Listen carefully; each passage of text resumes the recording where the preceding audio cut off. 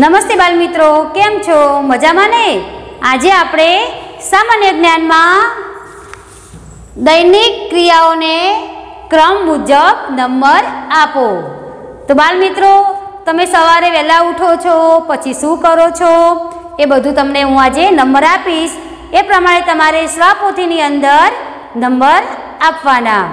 આપણે અગાઉના વિડીયોમાં તો હાથ દ્વારા કામ થતાં, પગ દ્વારા કામ થતા આ બધું આપણે શીખી ગયા. તો આજે દૈનિક ક્રિયાઓ વિશે હું તમને સમજણ આપીશ. તો બાળ મિત્રો, એક નંબર. તો આપણે વહેલા ઉઠી શું કરવું જોઈએ? સવારે વહેલા ઉઠવું જોઈએ. તો જુઓ, બાળ મિત્રો, અહીંયા મેં ચિત્ર નથી આપ્યા. તમારી સ્વાધ્યાય પોથીની અંદર ચિત્ર આપ્યા છે. અને અહીંયા મેં નામ લખ્યા છે. તો તમારે જોવાનું અને એ પ્રમાણે નંબર આપવાના. તો પહેલાં અહીંયા છે તો તમારે શું કરવું? તો સવારે વહેલા ઉઠવું. તો બાળ મિત્રો સવારે વહેલા ઉઠવું એ હું તમને એક નંબર આપીશ. ઉઠ્યા પછી શું કરવું બાળ મિત્રો તો તમને ખબર છે? ઉઠીને પછી બ્રશ કરવો. તો અહીંયા બ્રશનું ચિત્ર આપેલું હશે. છોકરો બ્રશ કરતો હશે. તો એ નીચે આપણે બે નંબર આપીશું. બ્રશ કરી પછી શું કરવું બાળ મિત્રો તો કોગળા કરવા. એટલે કે મોઢું ધોવું. તો આપણે ત્યાં ત્રણ નંબર આપીશું.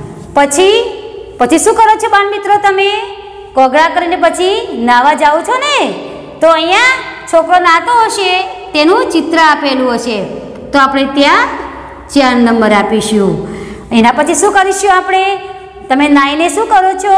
તો કપડાં પહેરો છો. તો છોકરો કપડાં પહેરતો હશે. તેના નીચે આપણે પાંચ નંબર આપીશું.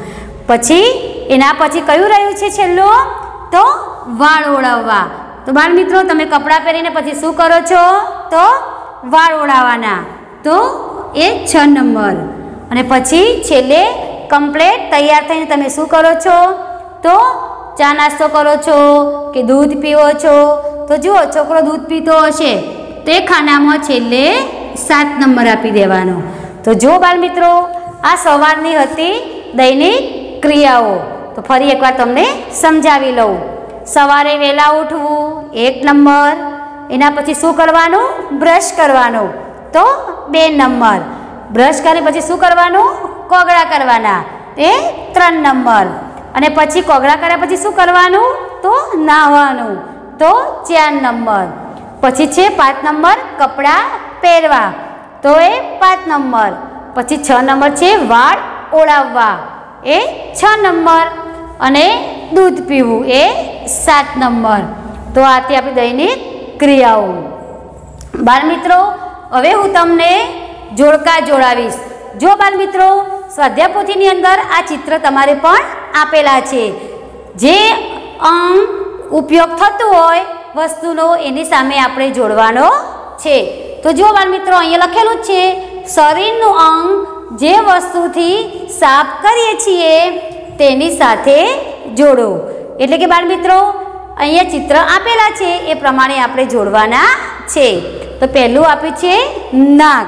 તો બાળ મિત્રો આપણે નાકને સાફ કરવું હોય, તો આપણે શેનો ઉપયોગ કરીએ છીએ તો? રૂમાલનો. તો જો બાળ મિત્રો નીચે રૂમાલનું ચિત્ર આપ્યું છે, તો આપણે તેને એની સાથે જોડી દઈશું. પછી દાંત આપ્યા છે બાળ મિત્રો તો દાંત સાફ કરવા માટે શેનો ઉપયોગ થાય છે? તો બ્રશનો. તો નીચે બ્રશ આપ્યું છે ને? તો તેની સામે આપણે જોડી દઈશું. પછી વાળ. તો બાળ મિત્રો, તમને વાળ ઓળાવવા માટે શેની જરૂર પડે છે?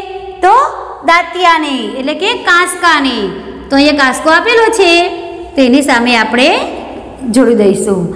પછી આપ્યું છે નખ. તો બાળ મિત્રો, નખ કાપવા માટે શેનો ઉપયોગ થાય છે? તો નખ કટરનો. તમે નખ કાપો છો ને, તો નખ બધાએ હંમેશા કાપીને રાખવાના. તો નખ કટર અહીંયા આપેલું છે ને, તો આપણે નખને નખ કટર સામે જોડી દઈશું. અને પછી આપે છે જીભ. તો બાળ મિત્રો બ્રશ કર્યા પછી તમે જીભને ઉલ ઉતારો છો ને, તો ઉલ ઉતારવા માટે શેની જરૂર પડે છે. તો ઉલિયાની, તો એને ઉલિયા સાથે જોડીશું.